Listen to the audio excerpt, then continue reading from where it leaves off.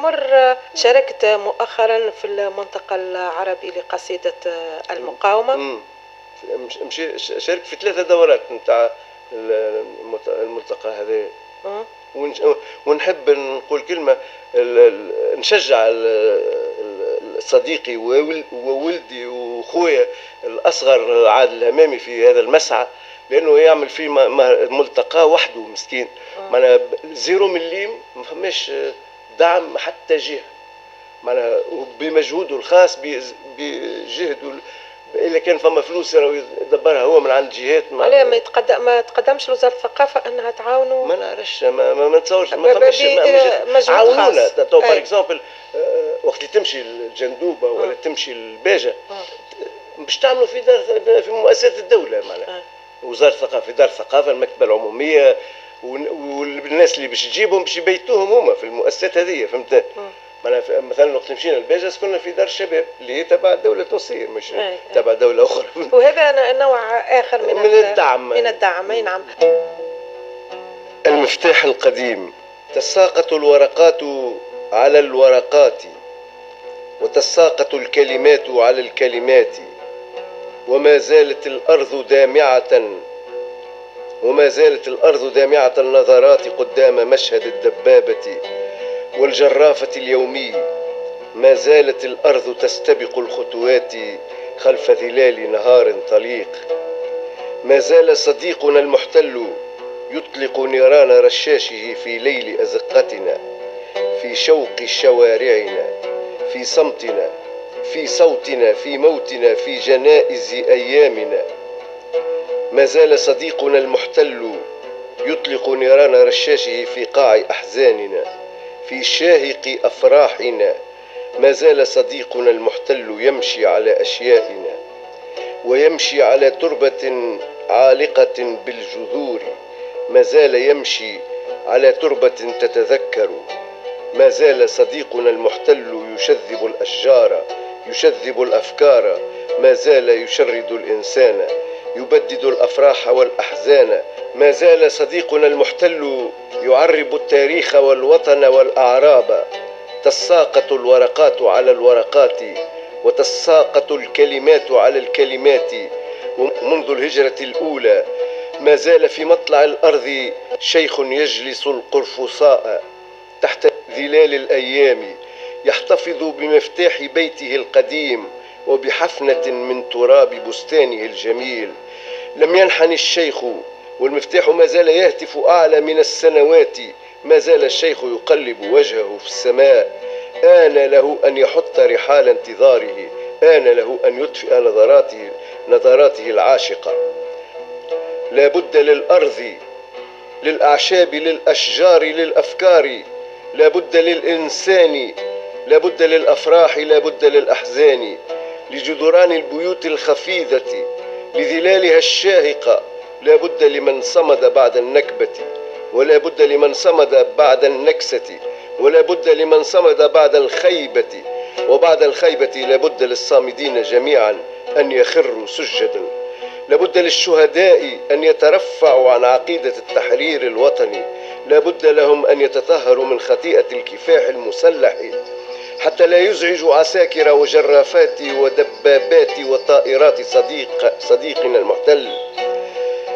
تساقط الورقات على الورقات وتساقط الكلمات على الكلمات وبعد مشاريع التسوية وبعد اختراق المدى للمدى وبعد اختراق الصدى للصدى وبعد اختناق الشذا لابد للاجئين خارج الأرض أن يغتالوا الدمع والأشواق لابد لهم أن يغتالوا الوطن والتاريخ. لابد لهم أن يطيروا الأوراق الطائرة. لابد لهم أن يموتوا قبل الموت وبعد الموت. لابد لسكان المخيمات أن يقلموا أظافر المفردات عند تلاوة نص الخطاب. لابد للقامات أن تتقلص أثناء حفل حفلة التوقيع. لا بد لهم أن يغلبوا نبرة الصمت. لا بد لهم أن يغلبوا نبرة الموت. لا بد لهم أن يموتوا قبل الموت وبعد الموت. تساقط الكلمات على الكلمات ولا بد لعساكر الدنيا أن تتوحد لنزع, لنزع أسلحة الدمار الشامل التي يملكها شعب المخيمات لابد لنساء رفح أن ينتزعن جلابيبهن السود بصدورها المطرزة. لابد لأطفال القدس أن يطفئوا نظراتهم المترقبة. لابد لشيوخ الناصرة أن يصموا آذانهم حيال نداءات الأرض ويناموا هادئين. لابد لهم أن يموتوا قبل الموت وبعد الموت. لابد لطائر الفينيق الفلسطيني أن يحط رحال السماء بعيدا عن الأرض. لابد للسنابل لابد للبلابل أن تترفع عن, نبرة عن النبرة الشاهقة. لابد للمقاتل أن يترفع عن النظرة العاشقة. لابد لشعب المخيمات أن ينسحب من الأرض التي يحتلها بقوة الانتماء. لابد له أن يحترم الاتفاق. لابد للشعب المخيمات أن يشهد في خشوع مشهد الدبابة والجرافة والوطن المسحوق. تتساقط الورقات على الورقات وتساقط الكلمات على الكلمات ولا شك فلسطين باقية. ما دام الإنسان ما دام الله ما دام الحب ويعلم البحر تعلم السفائن تعلم الأرض والسماء تعلم الأشجار تعلم الجرافة والدبابة يعلم الجنود يعلم الشهيد والشهود يعلم القتيل والقاتل تعلم القبائل أن الواقفين خلف الأسلاك قتلى حتى مطلع الأرض.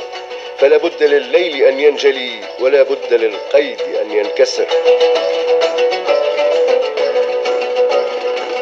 النص الذي كنا نستمع إليه بصوتك عمر سبيكا بعنوان المفتاح القديم. هذا النص كتبته منذ زمن عن القضية الفلسطينية وكأنه كتب اليوم. الأديب والفنان لا يمكن أن يتنصل من قضاياه سي عمر. طبعا. هذا صدر في كتاب ساعة الكتاب اسمه قتلى حتى مطلع الأرض. الكتاب صدر عام 2007 كتبت القصيدة هذا مطول جهة طويلة كيكا معناها نعم عملته في كتاب. أهداء الكتاب إلى الواقفين. إلى الواقفين خلف, خلف الأسلاك إلى شهداء الأرض. أي إلى شهداء الأرض.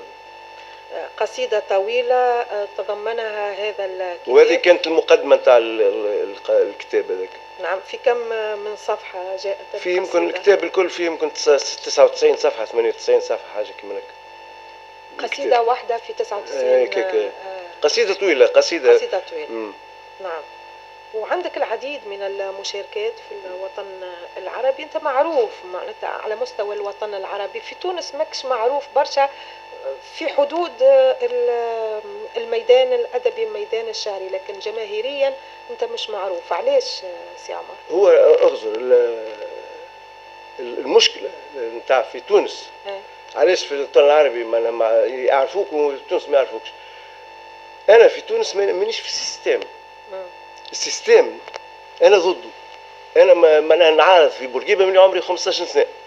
دخلت في منظمات وتنظيمات وتظاهرات وحركات مانيش متحزب راه مانيش منتمي لأي حزب ولا أي تنظيم. أما عندي فكرتي فكرتي مش مع النظام اللي يحكم في تونس. راني ما حبيتش ما قلتش ولا ما حبيتش نقول أنا أكثر نضالية من من الناس الكل. ولا أكثر جودة في شعري من الناس الكل ولا الناس اللي موجودين في المشهد توا أنا خير منهم. حبيت نقول فما ناس خذت حظها وأنا ما خذيتش الحظ اللي خذوه هما فهمتني؟ معناها يمكن أنا نكون مخطئ في الحكاية هذه.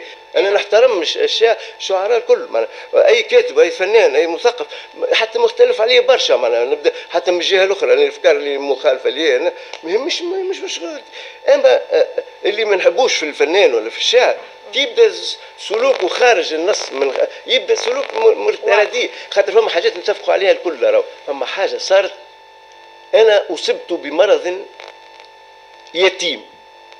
من عام 2000 presque 2000 عام 1990 قعدت 10 سنين هكاك ومن بعد عملوا لي diagnostic طلع المرض أنا الأولاني في تونس اكتشفوه بالمرض هذه. ما فماش نادر. على المرض هذا العضلات نتاع البدن الكل يتكبسوا وما يترخفوش. فهمتني؟ معناها يلزمني دواء باش يرخف العضلات. هذايا المرض هذه خذات لي من عمري الأدبي والثقافي يجي 15 سنة. فهمتني؟ قعدت 15 سنة مانيش ما مانيش نتبع في في المشهد الادبي لا نمشي نجي نداوي في روحي ونتبع في المرضى نتاعي وقتها déjà ما يعرفوش هما المرضى من أي. أنا أكل 15 سنه تو رجعت عندي ثلاث سنين راهو ندور في البيت أما ننشر في الكتب في المدة آه. هذيك ننشر في الكتب هكا أنت من الكتاب المتميزين في الساحة ال- هذا من حسن ذوقك. في الساحة الثقافية. لا هذا ماهوش رأينا هذا رأي النقاد أيضا رأي العديد من المتابعين رأي بعض القراء. أنا شكرا لك معيش شكرا لك عمر عايشة. الشاعر. المتميز عمر سبيكة. غدا تذكرين البنية تلك التي التحفت روحها وتراب المخيم. التحفت راية الوطن اللاجئ بالقفر وانطفأت. غدا تذكرين البنية تلهو قريبا من الوصف تلهو قريبا من القصف. أشياؤها هاؤنا تكمل الوصف فيما تبقى. أرى ما أرى ما تبقى من الوصف دراجة دمية نائمة. والمدى يمتطي عجلات المدى كي يشجر أيامها القادمة. المدى فارع في أعالي المدى يصف الشجر طائرا يوقظ الذاكرة. يطلق الراية الطائرة أرى ما أرى أصف الشجر المتفكرة الطائرات العلية تعلو ويكتمل القصف. يكتمل الوصف تبقى البنية منفية في المكان ومرئية في الزمان غدا عندما تترقرق دمعتها بالصور بالمرايا تفيض وصايا البنية في زخرف الأرض في رقصة المطر فهل كان لابد من حلم دامع كي أنام؟